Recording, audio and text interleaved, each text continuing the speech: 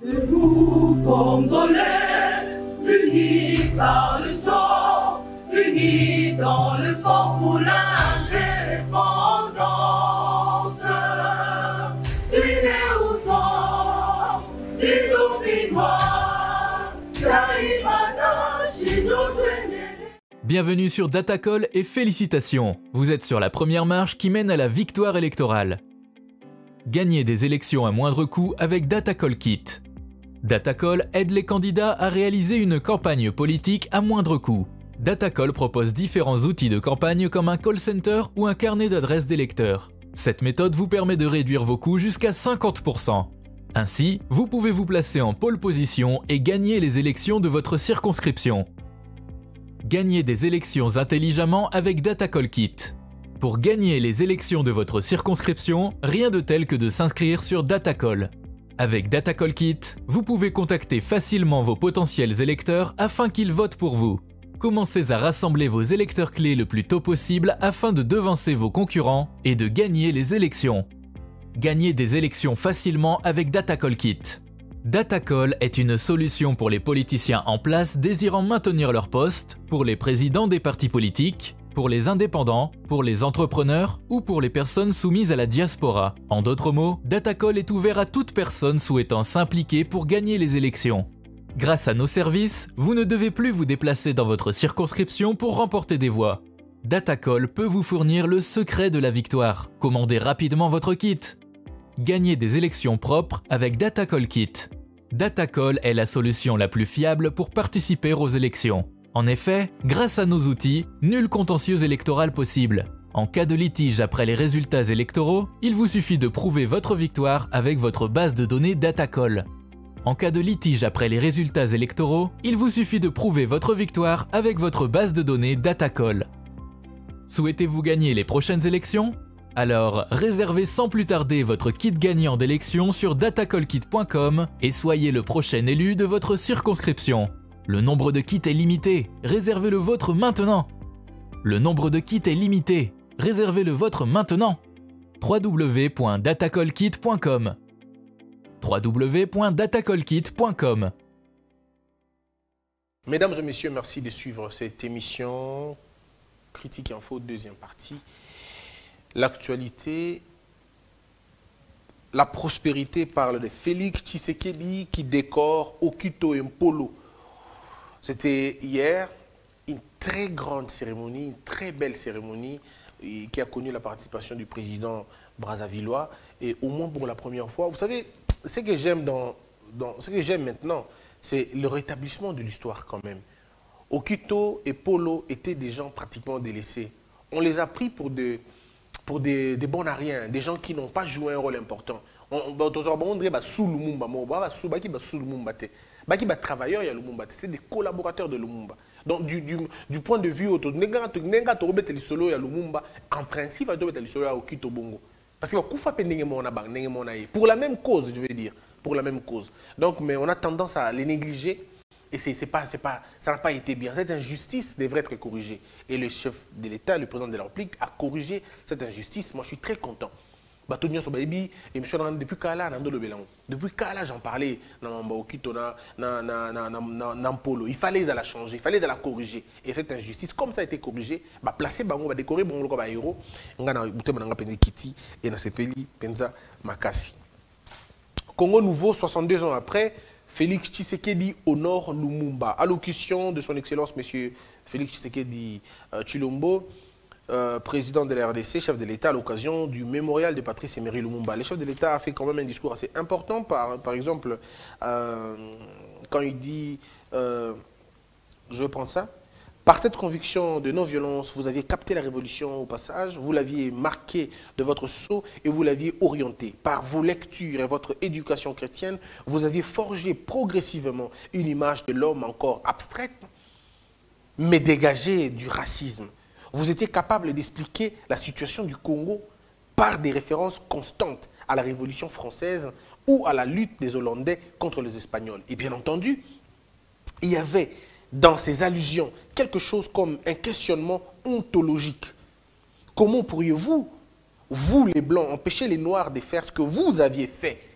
Ça, le chef de l'État un peu une sorte de... Il parlait à, à, à, Lumumba, il dit, euh, cher, euh, cher Patrice, vous êtes né au Congo belge, homme du peuple, homme simple, marié et père des familles, à l'instar de la plupart des membres de la classe sociale dite évoluée, à laquelle vous apparteniez. Vous aviez forgé dans les écoles, vous avez été forgé dans les écoles coloniales et des missions catholiques qui avaient pour objectif de former les autochtones à la soumission à l'ordre colonial.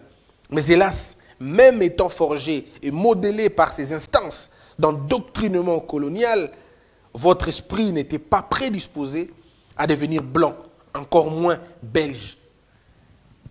Votre rencontre avec euh, Kwame Nkrumah à la conférence du Rassemblement des peuples africains tenue à Accra, au Ghana, avait bouleversé votre vision politique et du monde.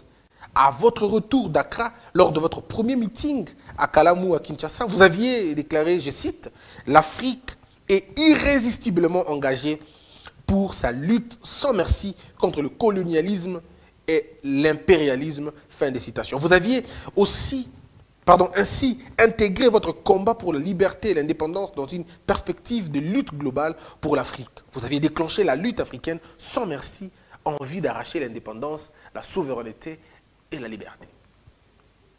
Quelle belle phrase. C'est à la limite fabuleux. Et ces gens de discours narratifs qui parlent à quelqu'un qui n'est plus là, mais qui parle plutôt à son esprit, est visiblement interpellateur. Et dans les colonnes, ce qui m'intéresse dans cette phrase, il dit, vous aviez été forgé dans les écoles coloniales, les missions catholiques, qui avaient pour objectif de former les autochtones à la soumission et à l'ordre colonial. Mais malgré cela, malgré cela, même en étant forgé et modélé par ces instances d'endoctrinement colonial, waouh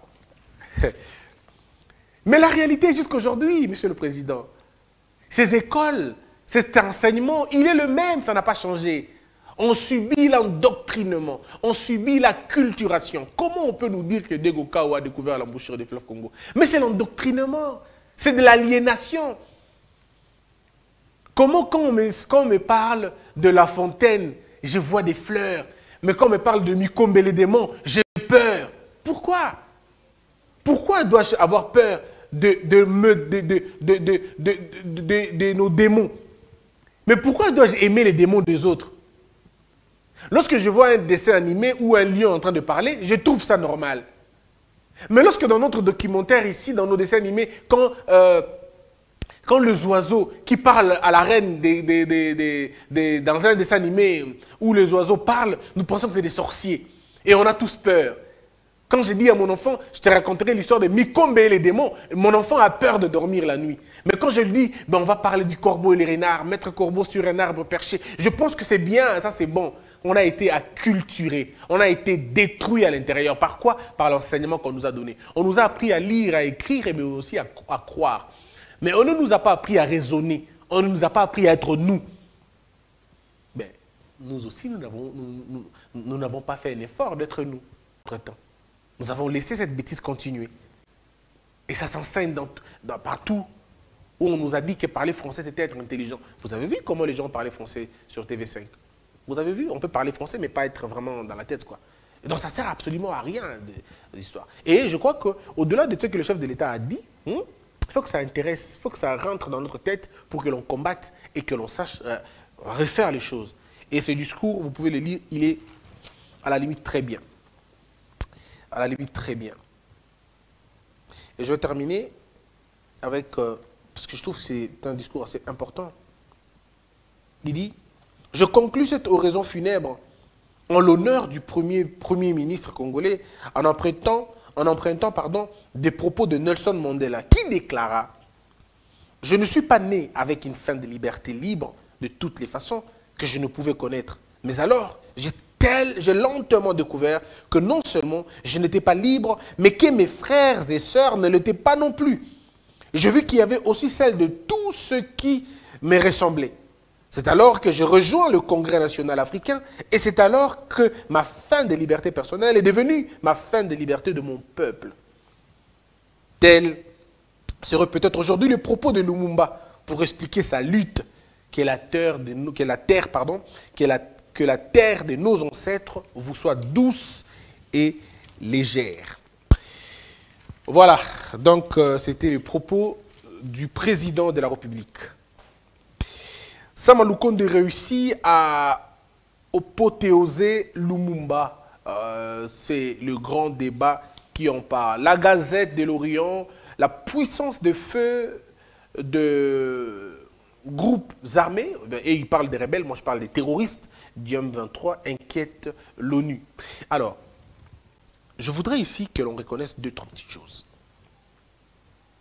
Monsieur Zedam, je vais garder ça et terminer avec la transparence. 62 ans après l'indépendance, le Grand Congo se réveille. Revenons sur la puissance de feu des rebelles, que j'appelle les terroristes. Si vous regardez bien, vous allez comprendre qu'il y a une vaste aventure. Et le chef de l'État, là, finalement, euh, a, compris que euh, tous ces gens sont des hypocrites. Je ne dis pas qu'il a compris maintenant, je crois qu'il savait déjà. Mais quand on regarde au fond, on se rend compte que la communauté internationale, dans son ensemble, les pays voisins dans leur ensemble, et même les pays occidentaux dans leur ensemble, refusent de voir la réalité en face. Ils disent des communiqués qui contredisent les autres. Il n'y a pas longtemps, la MONUSCO disait ici qu'il n'y avait pas de preuves factuelles de l'implication de, comment on appelle ça, de, du Rwanda au M23, dans le M23. Mais quelques temps après, il y a eu deux militaires rwandais qui, avaient, qui avaient été capturés au Congo. Aujourd'hui, il y en a encore deux qui ont été, hier, pardon, il y a encore deux qui avaient été capturés.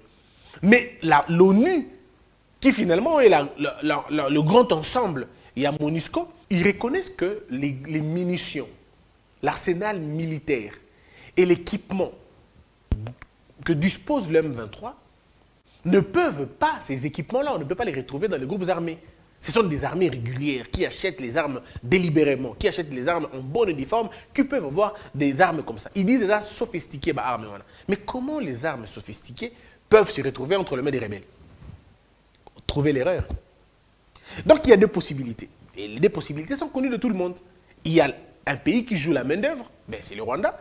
Et puis les multinationales sont derrière pour armer tout ça, ces gens-là. Mais maintenant, il faut que, la communauté internationale, il faut que les, pays étrangers, il faut que ces gens sortent du cynisme, puisque ça, ce n'est même pas le silence, c'est un cynisme. Un pays est agressé sur son sol, au point que le groupe, un groupe armé, qui n'est même pas un groupe armé, qui est plutôt un démembrement d'une armée, d'une armée d'un pays, entre sur le sol de ce pays-là, pille tue, vole, amasse richesse, occupe même, si vous voulez, quelque temps, une partie de ce territoire-là, une petite partie, mais que ce soit petite ou grande, ça reste une certaine occupation.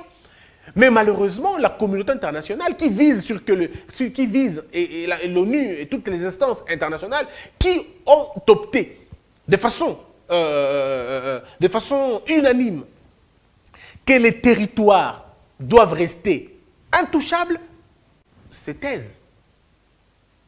Et on nous laisse à nous, le Congo, la charge de nous défendre tout seul comme si on n'appartenait à aucune instance. Ça peut être compris, compris si le Congo se bat tout seul. Si le Congo est seul dans un coin, mais nous, nous appartenons dans ces communautés-là. Nous appartenons dans la même communauté avec les agresseurs.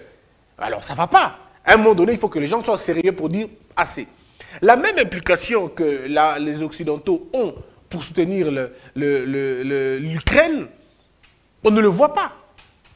Je vais faire une petite digression. Vous avez vu ce que c'est maintenant, ce que est devenu le Centrafrique avec les, les Russes? Ils comptent des jours de paix chez eux. Ils comptent le calme chez eux. Est-ce que c'est ce qu'on veut qu'on fasse au Congo? C'est une question qu'on se pose. La Chine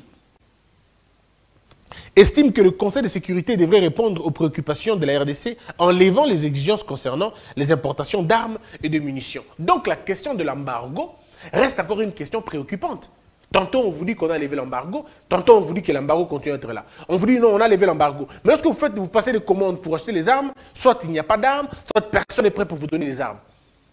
Donc on est soit dans une, dans dans une forme d'embargo clair ou on est dans une forme d'embargo euh, euh, camouflé. C'est soit on est dans l'embargo, soit on ne l'est pas. On nous dit même qu'on a, pro- on a, on a prolongé ça d'une année. Vous prolongez quoi et pourquoi? Pourquoi de mettre un pays agressé sous embargo? Vous êtes complice. Donc c'est un peu comme si vous avez deux personnes qui se battent et vous retenez une personne, vous dites, lui ne va utiliser qu'une seule main. C'est pas possible. Donc, devant cette injustice, il fallait qu'on mette terme à cela. Mais maintenant, il y a une question qui, personnellement, me dérange.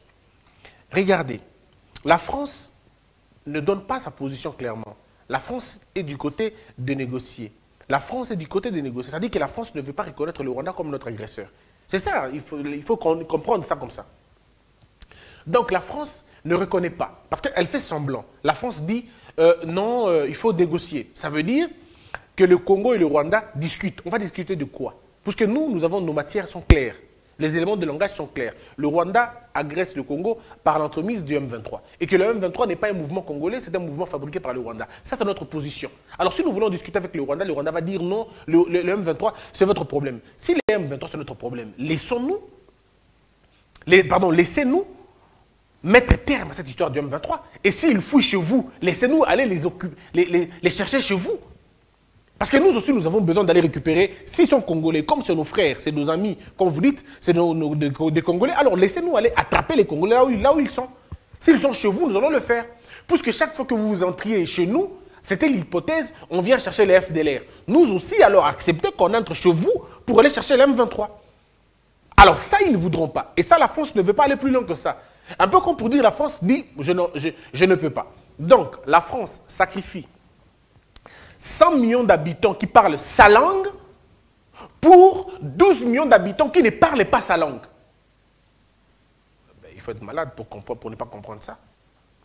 Je répète, la France a accepté de sacrifier 100 millions de personnes qui partagent sa langue, qui partagent sa culture, qui partagent ses chaînes de télévision, parce que le Canal Plus, c'est français. C'est il n'y a pas longtemps que Canal Plus est entré au, au Rwanda. Il n'y a pas longtemps. Ils ont des programmes anglais. Ils sont dans, dans le programme anglais. Ils sont même un pays anglophone aujourd'hui. Mais la, France nous met dans une balance et la France estime qu'on est dans une même balance. Alors nous, on dit non. Nous, nous devons dire non. La France, comme vous avez fait ce choix, nous prenons des mesures appropriées. D'abord, on boycotte la rencontre de la francophonie, je sais pas moi, au Congo là-bas, tout ça, toute cette réunion qui, avait, qui devait y avoir là-bas, nous refusons d'y aller, ça c'est des 1. De 2, nous décidons de quitter la francophonie. De 3, nous intégrons le, côté, anglo- anglophone. Point barre. Si nous faisons ça, la France va changer sa façon de voir, les choses. Et puis d'ailleurs, et puis d'ailleurs, si nous rompons nos rapports avec le Rwanda, ça va changer quoi? Avec la, France, nous perdons, nous perdrons quoi? C'est vrai qu'il ne faut pas aller comme ça, mais il faut aller méthodiquement. Je ne suis pas dans, les- je suis pas de ceux qui pensent qu'il faut arrêter maintenant. Non. Mais ceux qui ne sont pas d'accord avec nous, ne soyons pas d'accord avec eux, c'est tout. Il y a des pays qui n'ont rien à voir avec la France et ils sont en paix, ils sont calmes. Qu'est-ce que nous gagnons en France? Nos- nos- nos- nos fonctionnaires sont formés là-bas? Non. Qu'est-ce que nous gagnons avec la France? Nos entreprises sont bien cotées chez eux? Non. Qu'est-ce que nous gagnons en France? Qu'est-ce que nous gagnons en étant avec eux? Je me suis toujours posé la question, qu'est-ce que nous gagnons? Alors c'est à nous de décider. Or, vous avez la Chine ici qui plaide au profit de la RDC. C'est à nous maintenant de voir. La Chine, qui dit la Chine, dit la Russie. La Russie. On peut discuter avec la Chine, avec la Russie. Voilà. Et aujourd'hui, il y a une ouverture avec le Sénat américain. Et moi, je continue à le dire que nous avons des Congolais qui fréquentent la Maison Blanche. Des Congolais. J'en connais plusieurs qui fréquentent la Maison Blanche. Traitons avec eux. Je vous avais dit que je vais vous citer les noms. Comme c'est déjà aujourd'hui, c'est vendredi, bon, c'est bon déjà, parce que je crois qu'hier, il avait été, il avait, il, allait être reçu hier. Il s'appelle Fabrice. Je ne pourrais pas donner son nom commun, le, son nom de famille. Son nom, c'est Fabrice. C'est un Congolais. Un Congolais, un ressortissant de la RDC. Il vient de Mbujimaï. On peut discuter avec lui. On peut utiliser des gens comme ça. Son épouse est une grande personnalité dans la politique américaine et dans le côté démocrate. Et vous n'avez qu'à voir les choses. On peut utiliser ça comme ça.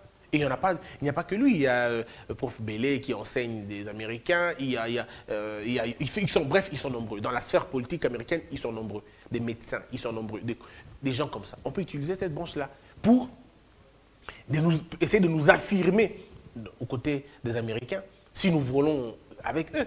Mais si nous estimons que ce n'est pas avec eux qu'on va aller faire les choses, faisons avec les autres. C'est une question de voir comment ça peut marcher, comment ça peut aller. C'est une question de comprendre la situation. Et moi, la Chine a été claire sur la question.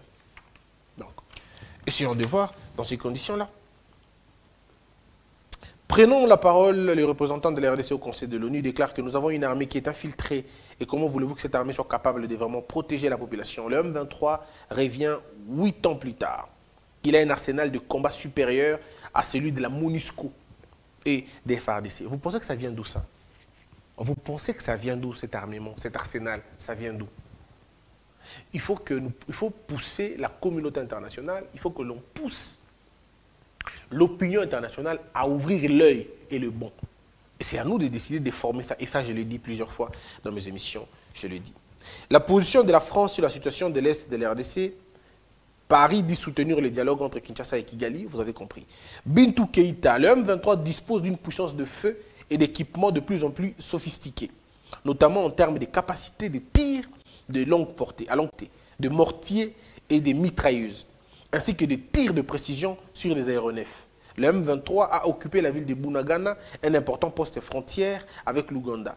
Au cours des affrontements les plus récents, le M23 s'est comporté de plus en plus comme une armée conventionnelle que comme un groupe armé. Le M23 dispose d'une puissance de feu et que, que l'on ne peut pas euh, Donc, les offensives du M23 ont eu un impact majeur sur la population civile, entraînant la mort d'au moins 23 civils, 10 enfants, plus de 170 000 personnes ont été déplacées. Les abris communautaires construits par des partenaires humanitaires sont devenus surpeuplés, tout comme les écoles, les stades et les autres espaces collectifs dans lesquels étaient abritées d'autres personnes déplacées. L'intensification des attaques du M23 et les tensions régionales qui en ont découlé ont malheureusement remis en cause la dynamique positive enregistrée au cours des dernières années en RDC et le Rwanda. Bon, ça c'est la MONUSCO qui en parle, c'est l'ONU qui en parle. Dites-moi, mes frères, qu'est-ce que vous voulez comprendre? On vous dit que le groupe, un groupe armé se comporte euh, comme un groupe, comme, comme une armée conventionnelle, avec des tirs de précision. On est devant une complicité internationale. Donc ici, la RDC est agressée par tout le monde. Alors n'interdisez pas à la RDC de faire des partenariats. N'interdisez pas à la RDC d'être en contact avec les autres. Il ne faut pas qu'on nous interdise ces choses-là. C'est le moment maintenant de dire, nous voulons traiter avec telle personne, avec telle personne, avec telle personne. Il faut maintenant qu'on développe la capacité de mettre... Vous savez qu'à un moment donné, quand on est calme, il faut qu'on se dise, c'est à nous de décider maintenant de comment nous allons faire les choses. Comment nous voulons arranger les choses. Est-ce que nous voulons aller comme ça ou nous voulons faire de cette façon-là? Est-ce que c'est avec la Russie que l'on veut traiter ou avec le Rwanda que l'on veut traiter Tout est question de ce que nous, nous, nous voulons faire. En fait, moi, c'est mon point de vue. Le Rwanda, qui rejette également le discours de propagande en cours sur la RDC, selon lequel le pays de la région veut balkaniser l'Est de la RDC, il s'agit d'une nouvelle tentative du gouvernement de la RDC d'externaliser ses faiblesses et problèmes internes à ses pays voisins. Je voudrais attirer l'attention du Conseil de sécurité de l'ONU sur la fausse accusation de la RDC selon laquelle le Rwanda soutient le M23. Toute allégation à cet égard doit être signalée au mécanisme conjoint de vérification élargi pour une enquête indépendante. C'est que la RDC ne fait pas ce jour. Nous ne pouvons pas appartenir, on ne peut pas, je ne comprends pas le Rwanda. Je ne comprends pas pourquoi le Rwanda s'obstine à l'idée de faire un d'être que nous puissions apporter nos doléances dans un mécanisme. Non. Nos doléances, nous allons le défendre. Et il faut que le Rwanda comprenne que le Congo ne se plaint pas à lui. Non. Le Congo ne se, plaint pas au Rwanda. Nous ne venons pas du Rwanda, vous nous agressez. Non. Nous disons à ceux qui soutiennent le Rwanda, nous disons à ceux qui ne veulent pas comprendre que le Rwanda nous menace. Nous disons à ceux qui ne veulent pas comprendre que le Rwanda nous agresse. Ce n'est pas au Rwanda que nous on se plaint. Personne ne se plaint chez le Rwandais. Aucun Congolais n'est allé se, plaindre chez le Rwandais. Nous ne nous plaignons pas. Nous accusons un pays qui nous agresse. Et on l'accuse où? On l'accuse chez ceux qui pensent le soutenir, ceux que nous considérons qu'ils le soutiennent. Mais c'est comme ça qu'on fait les choses. Pourquoi le Rwanda veut qu'on ramène cette question à la sous-région? Ça dépassait la question de la sous-région. La MONUSCO dit avoir empêché le M23 de menacer la ville de Goma et autres localités situées le long de la route nationale numéro 2. C'est de la blague, encore une fois, de la blague. Vous voyez que la MONUSCO joue à ces jeux-là. Donc la MONUSCO, l'ONU, ça joue à ces jeux. Ils sont, bon, voilà, ils jouent encore à ces jeux-là. Nous, nous n'avons pas besoin que la MONUSCO dise que le Rwanda nous agresse. On n'a pas besoin. la MONUSCO doit avoir le choix. Soit il nous accompagne, on déloge les M23 et lui il s'arrête à la frontière, mais nous, la RDC, nous entrons jusqu'au Rwanda pour récupérer, capturer les. C'est leur terme, c'est pas moi, c'est leur terme. Capturer les M23 qui vont fuir au Rwanda parce que c'est là où ils fuient. S'ils vont en Ouganda, nous entrons dans en Ouganda pour récupérer nos autres frères. Parce qu'il y a mal de. C'est eux qui disent, non Le Rwanda dit c'est nos frères. Ok, il n'y a pas de problème. Comme c'est nos frères, nous allons le pourchasser jusque chez vous. Si vous le faites entrer chez vous, nous allons rentrer, pas pour prendre vos biens, parce que vous n'en avez pas. On va juste prendre nos frères et le ramener chez nous pour le juger. C'est comme dans une famille, je tape mon enfant, mon enfant fuit. Il fuit chez toi. Permets-moi d'entrer chez toi, les prendre. Ou, ou si, si tu ne veux pas que j'entre chez toi, sors mon enfant de chez toi. Mais tu ne vas pas le garder, le nourrir là-bas, et puis après il viendra taper ses autres frères. Non. Nous sommes en famille, dans un quartier. J'ai un enfant que j'estime qui commence à se rébeller. Et j'essaie de le corriger. Mon enfant fuit chez le voisin. Et je dis au voisin, donne-moi l'enfant qui est parti chez toi. Il dit non, non, je ne peux pas te le donner. euh, je ne peux pas te le donner. Ok, c'est ton enfant? Non, c'est pas mon enfant, c'est ton enfant. Alors, si c'est mon enfant, donne-le-moi. Non, je ne le donne pas. Et puis après, deux jours, trois jours après, quatre jours après, cet enfant-là qu'on garde chez le voisin, il rentre chez moi, il tape encore ma fille, il tape encore ma, ma, ma, ma fille qui est sa sœur. Je dis, ok, dans ce cas, donne-moi mon enfant. Il dit, non, non, je ne te donne pas ton enfant. Bon, si je dis, ok, donc dans ces cas, c'est ton enfant à toi. Oh non, c'est pas non plus mon enfant. Mais attendez, si c'est mon enfant, donne-le-moi. Ou si tu ne veux pas me le donner, laisse-moi entrer et le reprendre. Puisque autrefois, toi, tu es venu chercher tes enfants indisciplinés qui étaient ici dans ma maison. Tu es rentré chez moi dans ma maison, tu as pris tes enfants, tu es parti avec. Alors, permets-moi de venir prendre mes enfants. Et voilà que dans la dispute passée, quand il y a eu une dispute, nos enfants se sont battus. Je suis dans l'élan là. J'ai capturé des enfants et il s'est retrouvé que c'était des enfants. Je te les ai rendus. Fais la même chose. Donne-moi mes enfants si tu ne penses pas qu'être avec eux. Si tu refuses des guerres de force, je vais rentrer chez toi et je prendrai mes enfants. De toute façon, tu n'as pas de richesse, donc je prendrai mes enfants et les ramener chez moi. Parce que quand toi, tu rentres chez moi pour prendre des enfants, tu prends et les vêtements, et les habits, et tout, tu pars avec. C'est comme ça qu'il faut dessiner la situation. Mais malheureusement, on ne veut pas nous le dire comme ça. Le portefeuille, la ministre Adèle Kaïnda lance les travaux de la mission des experts sur la numérisation des entreprises publiques. On va le suivre. Il y a encore une fois des propos que je vais devoir lire. Les, les femmes du Sud Kivu saisissent le président Tshisekedi pour qu'il renonce à l'entrée des forces régionales en RDC est nommé par ordonnance présidentielle premier président de la Cour des comptes, M. Munganga Ngwaki Jimmy, est mis à la retraite au grade du premier président de la Cour des comptes avec euh, honoraria et émérita. M. Ernest, Ernest Nsassa est mis à la retraite au grade du procureur général près la Cour des comptes avec honoraria et éméri- émérita. M. Golo Chilengu Mathieu. Le Conseil de sécurité de l'ONU a prolongé jeudi pour un an le régime de sanctions imposé à la RDC sans l'appui du Ghana, Kenya et Gabon, ni de la Chine et de la Russie. Cette décision oblige la RDC à des notifications préalables à l'acquisition des matériels d'armement. Les cinq pays qui se sont abstenus voulaient, comme Kinshasa, euh, voulaient, comme Kinshasa, la suppression de toute notification d'acquisition d'armes. Ils dénoncent une résolution qui va à l'encontre de la souveraineté de la RDC, qui limite, selon eux, sa capacité à combattre les groupes armés. Vous avez compris. J'en parle lundi en, long et en large. C'est une volonté de nous mettre dans cette situation. Nous voulons nous battre, mais on nous dit, avant d'acheter les armes, demandez. Non, mais pourquoi vous ne demandez pas au Rwanda de demander? Et où est-ce que les M23 trouvent tout cet armement? On n'a pas besoin de faire l'université pour comprendre. C'est un complot international, mais c'est à nous de nous débattre pour cela. Discutons avec le pays qui veut nous donner ça. Discutons avec le pays qui peuvent nous donner ces choses, ça sera très important pour nous. Parmi les propos, il y a le propos d'Olive Lembe. L'indépendance est aussi doter le pays des formations médicales et de qualité pour réduire les regards vers l'extérieur. Bon, ça, si on l'avait fait pendant 18 ans, on ne serait pas là aujourd'hui, malheureusement. Travailler plus, réaliser plus, produisez plus. Je cite Joseph Kabila Kabangue, le maître du silence. Moi-même, de rajouter sur le fait de réaliser toujours des promesses au lieu de tenir les discours fallacieux. Mon cher époux, d'où vous êtes, d'où vous travaillez la terre au niveau du Katanga pour nous nourrir, nous pouvons, nous vous appelons parce que nous avons encore besoin de vous. Partout où je passe ces derniers temps, tout le monde vous réclame. Ce sont des propos comme ça qui ont induit Mobutu en erreur, qui ont, en erreur, qui ont induit Mobutu, qui ont dit à Mobutu de rester longtemps, 32 ans, et Mobutu a été chassé au pouvoir. Ce sont les mêmes propos que l'on veut essayer à dire à celui qui est sorti, qui a réussi quand même à sortir, on va dire par la grande porte. On veut encore le remettre dans une mauvaise situation. Et malheureusement, je suis très convaincu que Kabila n'a pas d'intérêt à rentrer dans ces histoires. Il faut que les FCC se comprennent. Organisez-vous, trouvez un candidat ou une candidate pour le faire. Puisque comme ça, vous n'allez pas vous en sortir. Ça va être très compliqué. Pendant 18 ans, nous n'avons eu aucun hôpital sérieux. Pendant 18 ans, aucun hôpital sérieux. Aucun. On a dépensé 105 millions de dollars pour un éléphant blanc, cet hôpital des cinquantenaires. Avec 105 millions de dollars, on aurait dû révitaliser, euh, réhabiliter beaucoup d'hôpitaux. Si on avait commencé le programme des 145 territoires en 18 ans, on ne serait pas là aujourd'hui. Donc ça, les vrais discours fallacieux, ce sont des discours de ceux qui devraient faire des choses, ne l'ont ne ils ne l'ont pas, ils l'ont pas fait. Et aujourd'hui, ils viennent vous dire encore des choses.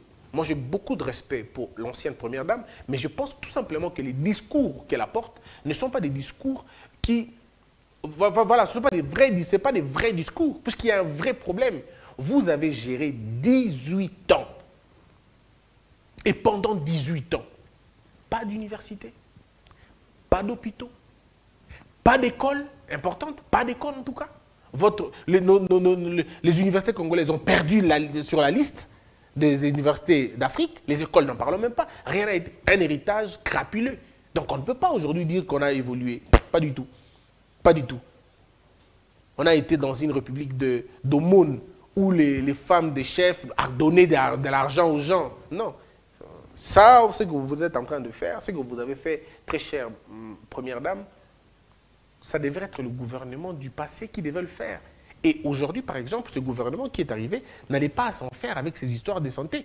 On allait se tourner sur la question de l'Est. Si on avait trouvé des routes, si on avait trouvé des écoles, des universités, si on avait trouvé un équilibre, ce pays n'allait pas être comme ça. Mais vous avez pris 18 ans et vous avez détruit. Et bizarrement, vous êtes impatient de voir les gens le faire dans 4 ans. C'est quand même pas possible. hein. En 18 ans, vous n'avez pratiquement rien fait, mais boum, à 4 ans, vous voulez qu'on fasse tout en 4 ans. C'est quand même, fort. Il est nécessaire, euh, bon, je crois qu'on a fini notre temps de parler. Il y a aussi M. Martin Fayoulou. Il est nécessaire, comme les Belges l'ont fait chez eux, de mettre en place au Congo une commission sur le passé colonial belge afin d'engager des pourparlers pour la Belgique et répartir sur des bases solides. Je partage totalement le point de vue de M. Martin Fayoulou. Les élections doivent avoir lieu dans le délai. Pas d'églissement possible. La Cour constitutionnelle, le Conseil d'État, la CENI, la loi électorale, la loi sur l'identification, l'enrôlement des électeurs, ainsi que le calendrier électoral doivent faire l'objet d'un large consensus. Je partage totalement le point de vue de M. Martin Fayoulou. Il est temps que la communauté internationale, qui avait facilité l'accueil de ces réfugiés chez nous, prenne ses responsabilités. Aussi, le Rwanda, l'Ouganda et le Burundi doivent-ils sortir doivent-ils sortir leurs troupes militaires du Congo? Je partage entièrement le point de vue de M. Martin Fayoulou. Depuis un quart de siècle maintenant, ces institutions sont illégitimes, infiltrées et affaiblies. Notre euh, pays est maintenu dans une situation d'ambiguïté, je pense, hein, c'est ce qu'il veut dire. Même si je ne connais pas la suite, je partage encore entièrement le point de vue de M. Martin Fayoul. Aujourd'hui, au moins, je partage entièrement ce point de vue, puisque je trouve ça réaliste. Il ne s'oppose pas au gouvernement, non, pas du tout. Du moins, le point de vue que je cite, hein, pas les autres, parce que les autres, je ne les ai pas réper- répertoriés. Mais au moins, j'ai pris l'essentiel. Il dit qu'il faut une commission. C'est ce que le chef de l'État a dit avec le, Belge. Il dit qu'il ne veut pas que les troupes militaires étrangères partent. Je suis d'accord avec lui. Il dit aussi qu'il faut qu'il y ait élection. Je suis d'accord aussi avec lui. Tout ça. Je suis d'accord sur la question. Donc, je n'ai pas de, aujourd'hui pas d'objection sur la question. Ainsi s'achève la livraison de vendredi. J'aurai le plaisir de vous retrouver lundi, si Dieu nous garde. Que la peur quitte nos esprits et que Dieu bénisse les. Debout, Congolais, unis par le sang,